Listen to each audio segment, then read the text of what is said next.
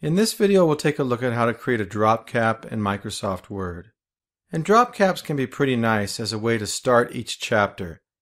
And of course you've seen them before, but let's go ahead and see how to create one ourselves in Word. So the first thing I want to do is make sure the cursor is at the beginning of my first paragraph in my chapter. And I go ahead and go to the Insert tab and then go where it says Drop Cap. And as I click on that arrow, this menu opens and I can select, for example, dropped. And notice you see there on your screen that we have the T that's been dropped into the first three lines by default.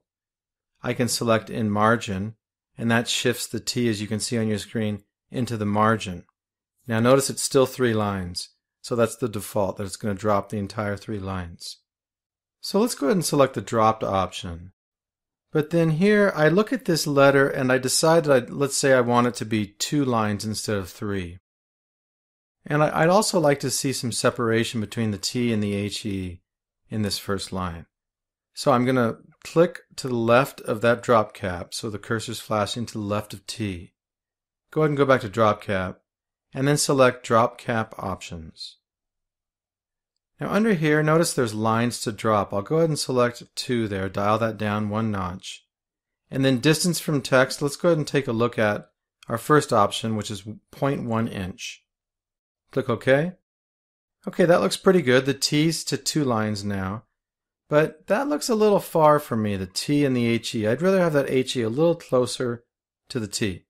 So once again, let's click to the left of our drop cap Go back to drop cap, select drop cap options. And then here instead of 0.1, let's go ahead and modify that to 0.05. Click OK. All right, that looks pretty good. I think we'll go with that. So once again, to insert a drop cap, just select the Insert tab and then Drop Cap.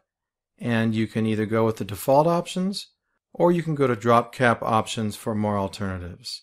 Now, if you want to turn the drop cap off, then you just want to go ahead and select None under Drop Cap, and as you can see on your screen, that will turn it off. Okay, that's it for creating a drop cap in Microsoft Word. Thanks for watching.